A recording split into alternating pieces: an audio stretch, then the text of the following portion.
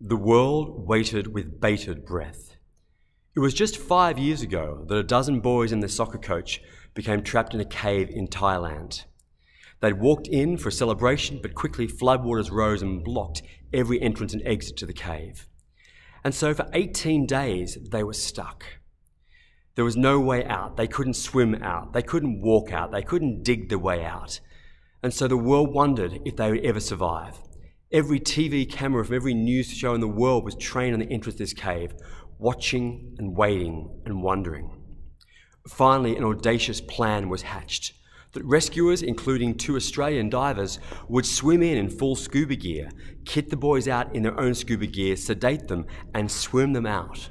It was a dangerous plan, swimming out through, through very narrow, muddy tunnels with inexperienced swimmers.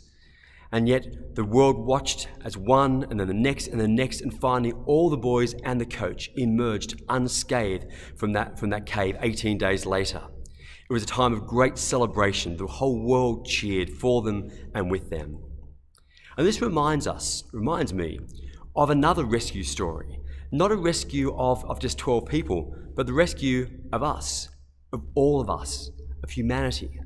Because we are kind of like we are kind of like those boys. We are stuck. You know, you think, it, look at all, look at all humanity, and everyone wants to be happy. Everyone wants to live a good life, and yet so many people are unhappy. And the things we try to do to become happy so often make us more tired, more anxious, more stressed than ever. And we keep on repeating the same cycles, the same patterns, that those with wealth and power cling to it and those who don't have wealth or power rise up in anger and violence. And of course, this is what we see happening in, in, Israel and Gaza, as it has in so many parts of the world over the centuries. We keep falling into the same patterns again and again. So, yeah, we are stuck like the boys in the cave.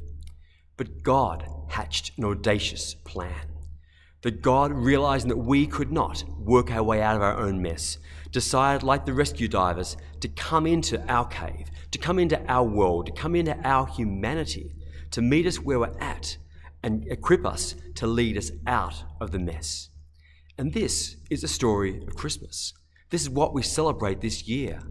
That, this, that the baby Jesus being born in Bethlehem 2023 years ago is a story of God coming to rescue us, coming into our world, to do for us what we could not do for ourselves.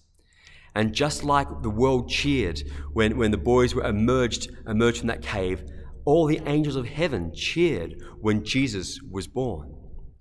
Of course, it's not just what Jesus did in being born, what he did as a baby, that we will celebrate in these days ahead, but it's what Jesus grew up to say and do that really matters, that completes our rescue. And of course, that's a story of Easter as well, and we'll explore that later in the year or later next year.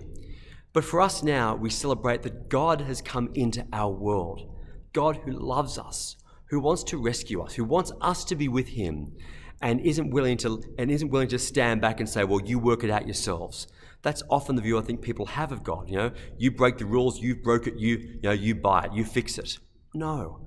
God is a loving father to us who, who comes into our world, who sends his only son Jesus to come be with us, to be like us, to speak in human words and act in human actions that we can understand so that we can be changed by him. But we have to, but we have to cooperate. It is a relationship that we can be transformed by our relationship with Jesus. But we have to actually want that and, and, and choose it. To say, Jesus, thank you that you've come into our world. Thank you. You've come and shared humanity with me. So I now want to share divinity with you. I want to be your follower, Jesus, and I open myself and I open my heart to whatever you might want to do in me and with me. This is the good news of Christmas. And this is why we come to church. We want every single person to hear this good news message. So if you're watching this before Christmas, invite someone to come with you.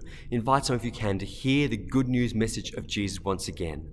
And for each of us, may our hearts be open to come meet the Lord, to be saved by him. Happy Christmas.